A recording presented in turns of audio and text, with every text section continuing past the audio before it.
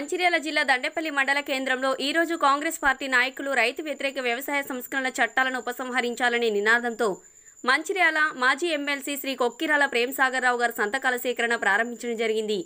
ఈ కార్యక్రమానికి జడ్పీటీసీ శ్రీ గడ్డం త్రిమూర్తి గారు మరియు దండేపల్లి ఎంపీటీసీ శ్రీ ముత్యాల శ్రీనివాస్ గారు అధ్యక్షత వహించారు. మొదటి సంతకం శ్రీ ప్రేమ్ సాగర్ రావు గారు చేసి కార్యక్రమాన్ని ప్రారంభించారు. ఈ కార్యక్రమంలో దండపల్లి జన్నారం మండల కాంగ్రెస్ సీనియర్ నాయకులు సర్పంచులు ఎంపీటీసీలు యువ నాయకులు అధిక సంఖ్యలో పాల్గొన్నారు. S ninety news reporter Vinod Dandapalli.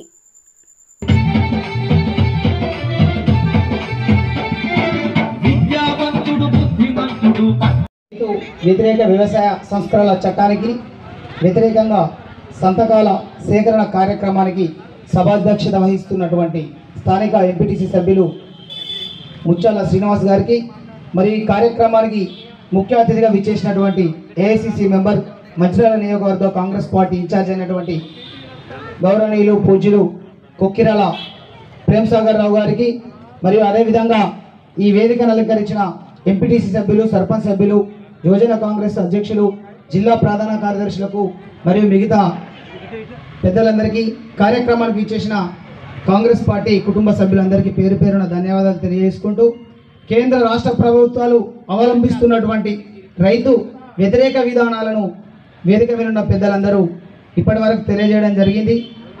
ఇక మన స్థానిక సమస్యలైనటువంటి చాలా సమస్యలు రైతాంగం కొట్టుమిడుతాడు కొట్టుమిట్టాడుతున్నటువంటి ఈ సందర్భంలో పాలకులు పట్టింపు లేకుండా వారి యొక్క వ్యక్తిగత అవసరాల కోసం వ్యక్తిగత లాభాల కోసం ఈనాడు పరిపాలన అనేది మన నియోజకవర్గంలో జరుగుతుందనేది చాలా కళ్ళకు కట్టినట్టు ఏర్పడుతుంది.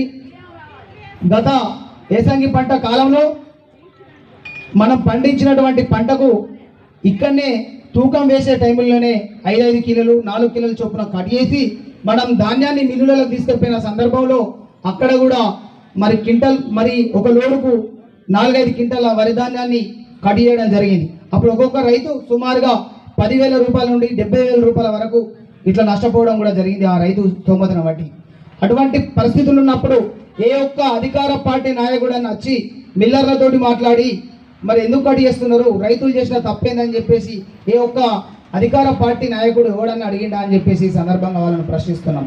తర్వాత ఆ నాలుగు రోజులు జరుగుతున్నటువంటి ఆ కార్యక్రమంలో ఏ ఒక్క పార్టీ మీటింగ్ కూడా పెట్టలేదు. ఎందుకంటే ప్రభుత్వం కార్యక్రమాలు చేయలేదు పార్టీ కార్యక్రమాలు చేయకుండా ముఖం చాటేసి తిరిగినటువంటి నాయకులు వరిధాన్యం కొనుగోలు అమ్ముడు అమ్ముడు పోయిన తర్వాత వెంటనే మళ్ళా గ్రామాలలో తొగబట్టి మేము అధ్యత్తం విజేత్తం అని చెప్పేసి ప్రజలకు మళ్ళీ నమ్మబలిగే విషయాలని చెప్పిళ్ళు. ఇప్పుడు కూడా ఈ సీజన్లో కూడా పంట చేతికి వచ్చే సమయం వచ్చింది. మళ్ళీ వరిధాన్యం కొనుగోలు కేంద్రాలలో జరిగే అన్యాయాన్ని మనం అరికట్టడానికి కాంగ్రెస్ పార్టీ కార్యకర్తలం ఒక సైనికుల లెక్కల పనిచేసి గత సీజన్లో జరిగినటువంటి అన్యాయం ఈసారి జరగద్దని చెప్పేసి దానికోసం ఎంతటి పోరాటానికైనా గౌరవనీయులు పెద్దలు పూజలైనటువంటి కొక్కిరల ప్రేమ్ సాగర్ రావు గారి నాయకత్వాన ఖచ్చితంగా రైతులకు న్యాయం జరిగే వరకు పోరాటం చేస్తామని చెప్పేసి ఈ సందర్భంగా ఈ సభా వేదిక పరంగా మేము తెలియజేస్తున్నాం.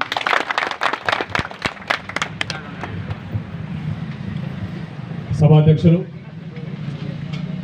దండపల్లి స్థానిక ఎంపీటీసీ ముత్యాల శ్రీను అదేవిధంగా మండల నాయకులు మిత్రుడు గడ్డం త్రిమూర్తి అదేవిధంగా మాజీ ఎంపీపీ చావ గారు సీనియర్ కాంగ్రెస్ నాయకుడు మాజీ సర్పంచ్ మా మాజీ ఎంపీటీసీ మరి ఇప్పుడు సర్పంచ్ పిల్లకూరు శంకరయ్య గారు మామిడి మామిడిపల్లి సర్పంచ్ శ్రీనివాస్ గారు అదేవిధంగా ధర్నాపేట సర్పంచ్ ప్రేమ్చంద్ గారు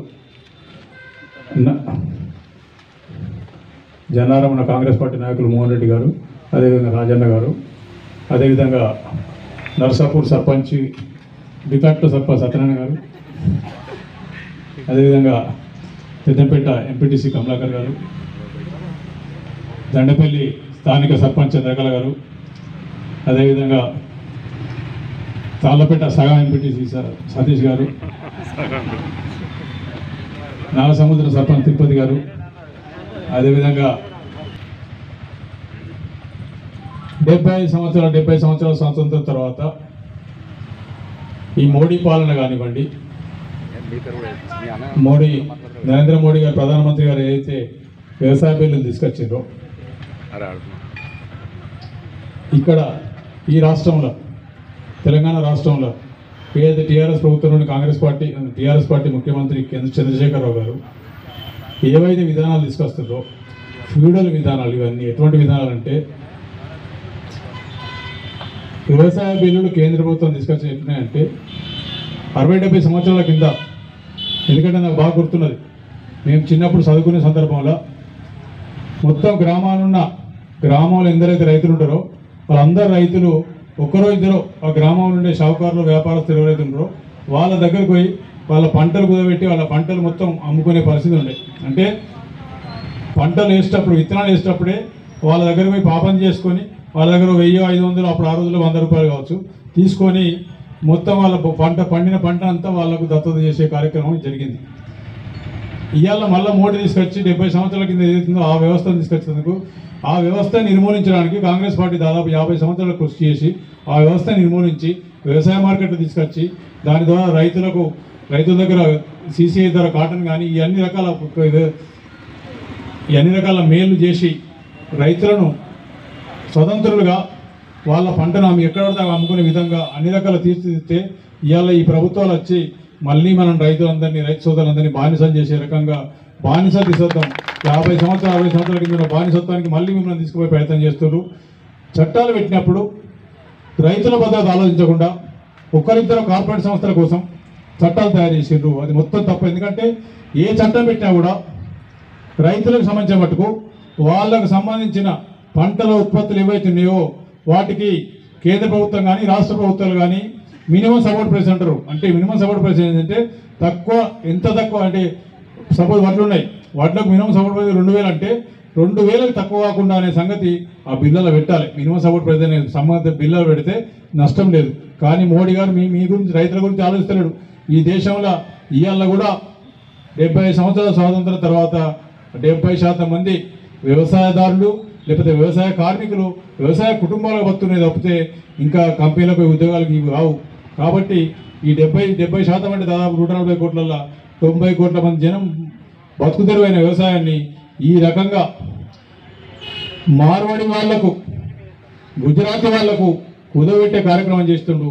కుదవెట్టడానికి నిర్ణయించుకున్నాడు కాబట్టి ఈ బిల్లులను ఖచ్చితంగా వ్యతిరేకిస్తున్నాం. కాంగ్రెస్ పార్టీ నిర్ద్వందంగా వ్యతిరేకిస్తుంది.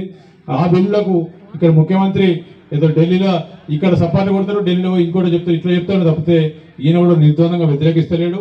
అదే విధంగా ఇక్కడ రాష్ట్ర ప్రభుత్వం తీసుకున్నప్పుడు ఏమన్నంటే రైతు బంధు ఇచ్చినామంటాడు రైతు బంధు ఇచ్చిండ్రు. రైతు బంధు ఇచ్చి ఏం చెప్తారు ఇంతకుముందే తిమ్మూర్తి చెప్పిండు పండి